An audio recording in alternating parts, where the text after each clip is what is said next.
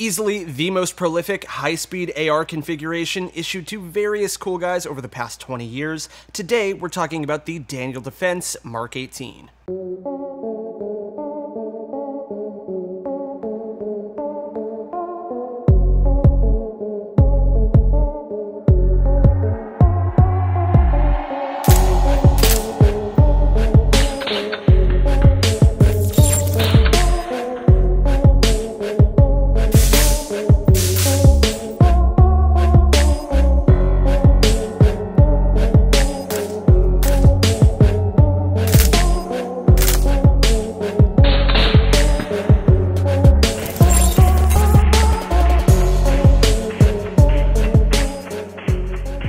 Is up, guys? My name is John with PewPewTactical.com, your definitive source for gun reviews, gear guides, and all things that are not actually in front of me because we shot the vast majority of this video on a road trip to Texas. First things first, every time I find myself in a position to do a review of yet another AR-15 based rifle, I sort of always like to throw this disclaimer right up front, in that the review is pretty much going to be a compilation of my own brain vomit and my subjective experiences with the gun, which, in my opinion, is hopefully a little bit more interesting for you to follow along with versus, you know, kind of going into the minutia of different metals and alloys and all of that kind of really small, fine detail stuff that a lot of other channels do, which is not really our thing, because at a certain point, most ARs are gonna be pretty close to the same rifle. However, this video is going to be a little bit unique in that, yes, it's an AR, but there's some background historical context that I kind of wanted to give you guys so you understand what exactly a Mark 18 is to begin with. The phrase Mark 18 can actually refer to a number of different M4 carbine variants that have been used by various SOCOM units throughout the past 20 years of America's involvement in the global war on terror. While there's a whole lot of fine detail regarding the exact configurations found on the Navy's various CQBR M4s, essentially the direct predecessor to the Mark 18, we'll gloss over those for now and just say that in general, the CQBR was an upper receiver overhaul that sought to shorten the standard military M4's barrel length from 14 and a half inches to something more suitable for the close quarters environments that SEALs, VBSS teams, and others found themselves operating within, delivering the firepower of the M4's intermediate 5.56 cartridge in a package the size of a submachine gun in situations where the accuracy of a full-length barrel would be unnecessary, such as maneuvering through the cramped quarters of various seaborne vessels or oil rigs. The project eventually spawned the first iteration of the short-barreled rifle that would bear the Mark 18 moniker, the Mark 18 Mod 0, which featured a 10.3-inch barrel with specific modifications to the gas block and extractor springs to allow the rifle to cycle reliably at that barrel length, a Knights Armament quad rail, QD flash hider and KAC suppressor, as well as various other high-speed accessories for the time, such as the M68 aimpoint, PEQ-2 IR laser unit, and so forth. For fellow aging crusty millennials out there that have come of age in the post 9-11 media sphere, you likely recognize the silhouette of the Mark 18 Mod 0 as the quintessential Western Special Operations carbine, its iconic form becoming easily recognizable through a more or less constant barrage of film and video game portrayals and reimagining of America's involvements overseas during our formative years. The Mark 18 was not to remain static, however, with the platform being further fine-tuned to meet the needs of its end users. The Mark 18 Mod 1 is what our Daniel Defense Mark 18 is a close approximation of, and I can already hear the angry clicking of 1000 clone build community keyboards being pounded upon at that mere suggestion. Offhandedly referred to as the Block 2 Mark 18, the Mod 1 has replaced the aging Knights quad rail with a 9-inch flat dark earth Daniel Defense RIS II, a low-profile Mark 12 gas block rather than the outdated M4 front sight gas block with a folding KAC front sight and a Matech rear butte the Knights NT4 QD flash hider was retained for suppressor compatibility, and while there are more minute differences to be found throughout, we'll skip the finer details for the sake of brevity. And now that we've got a decent idea of just what a Mark 18 is, insofar as the recent historical context, let's go ahead and move on to Daniel Defense's iteration because there are some key differences here. First and foremost, you'll notice that the Mark 18 we're using for the majority of this video is, legally speaking, an AR pistol, and features an Tactical pistol brace rather than an actual carbine stock. We probably don't have to tell you that there's all sorts of fuckery going on with the legal standing of pistol braces at the moment, so just keep that in mind as you follow along. And if you're watching this at some unspecified point in the future, the prospective felony puzzle labyrinth currently being floated may indeed already be in place. But we shall see. Daniel Defense's Mark 18 pistol still features the 10.3 inch 1 in 7 twist government profile barrel found on the issued Mark 18, riding inside of the very same FDE 9 inch RIS II as well. While DD's version doesn't come with the KAC NT4QD flash suppressor, if you're a stickler for details, the included Daniel Defense muzzle device is still compatible with the KAC NT4QD assembly if you have access to one of those for whatever reason, as well as the Advanced Armament Omni and Gemtech Halo cans. Speaking of suppressors, we chose to outfit our Mark 18 with a Silencer Central Banish 30, and we're pretty pleased with the results.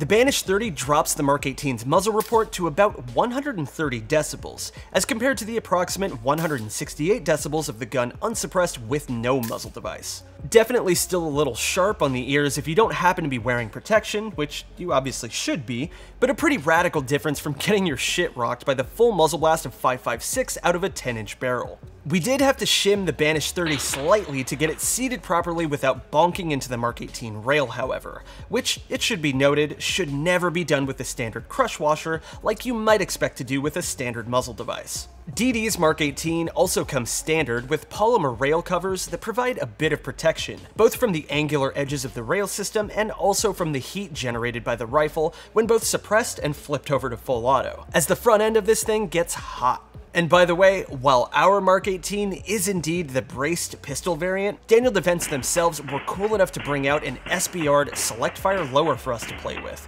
but more on that in a little bit. The gun's receiver itself is obviously made by Daniel Defense as well, although the original Mark 18 Mod 1s were hosted by Colt Uppers to the best of my knowledge. Again, this nugget of information is likely only useful to the dedicated clone community, who I'm sure are already fully aware of that fact, so consider this really more of a disclaimer than anything else. Yes, I know they're different. Go outside. All of your fire controls and receiver details are going to be pretty much exactly what you'd expect from a standard AR-15, and a polymer dust cover that, in theory, provides a much better seal against elements and debris than its metallic predecessors. The DD Mark 18 ships with Daniel Defense's signature take on a polymer AR magazine, designed explicitly to hold 32 rounds or so with a built-in Magpul-esque ridge on the floor plate to allow for more solid purchase real estate when going for a reload. The mag works well enough, but we did have a handful of small issues when it was loaded to full capacity, combined with my penchant for ramming mags into the magwell with probably a bit more force than is necessary, overseating the magazine and causing issues with getting the bolt into battery even when locked to the rear. This was easily solved by either downloading the round count from the mag slightly, or just being a bit more mindful about not hulking it into the receiver, neither of which are deal breakers for me personally, and the gun ran flawlessly with PMags, so take that for what it's worth. The Mark 18 also comes equipped with Daniel Defense's take on an AR pistol grip that some viewers might remember isn't exactly my favorite when I've encountered it previously on the DD V7 and their Delta 5 Pro bolt gun but I feel like I've got a slightly different perspective on it after getting to shoot indoors at the incredibly generous ALERRT training facility, but more on that in a second. With all of the unnecessary details you could ever want and a basic rundown of the features out of the way, let's move on to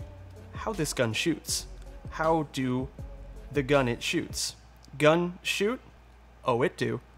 As mentioned, we got to spend some quality time with the Mark 18 across a few different ranges, doing some pretty rad shit that civilian dorks like me practically never have access to, thanks to the fine folks at ALERRT Training Center, Broaddus Defense, and of course, Daniel Defense themselves. We'll drop some links down below for anyone interested, but needless to say, the ALERRT facility is top notch, and we're super grateful for the opportunity to get to run a shoot house as, you know, casual gun nerds. And I guess another disclaimer on that note just while we're at it. I have no professional training in anything close to CQB-oriented shooting, so I'm sure I'm doing a ton of shit here that would instantly get me clapped in a real-life scenario, but the experience was valuable if for no other reason than introducing a ton of new mechanics like footwork, working angles, and attempting to solve potentially lethal geometry problems that you're just never going to get running drills on a flat, static outdoor range. All told, we ran probably a couple thousand rounds through the Mark 18 over a few days with only a few minor issues. For those not in the know, running a suppressor is going to cake your gun up with carbon hella fast, and we had a handful of stoppages related to both carbon buildup and running the gun dry. But we're willing to put the blame squarely on ourselves for those, as a cursory wipe down and the addition of lube squared away those issues with no further problems. The Mark 18 runs pretty damn well, and drilling steel and paper bad guys from a variety of ranges, barricades, and obstacles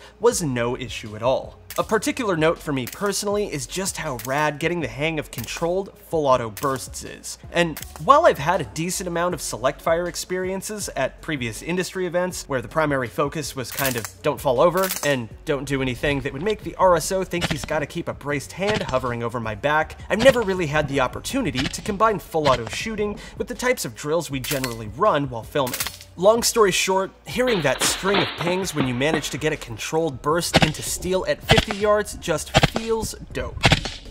Getting to run the shoot house was likewise pretty illuminating for a variety of reasons, largely related to just how comfortable you need to be with gun manipulation to move through an environment like that fluidly, constantly shifting between high and low ready stances while pieing corners, getting a feel for when exactly to commit to entering a new room, and all of this is being done, of course, while you are being incredibly safety conscious. You get the idea. While previously I didn't particularly care for the non-standard angle of Daniel Defense's pistol grip, I feel like now I've got a better appreciation for the more shallow angle of the grip on a gun that you've got kind of short-stocked, as I can imagine a more traditional A2 angled pistol grip might induce fatigue a bit earlier if you're running drills like this for any length of time. Is that a selling point that's relevant for everyone? Almost assuredly no. But it felt like it was worth mentioning considering my previous disdain for the grip while working the flat range back home. So perhaps something to consider if you're building something like a home defense AR or the like.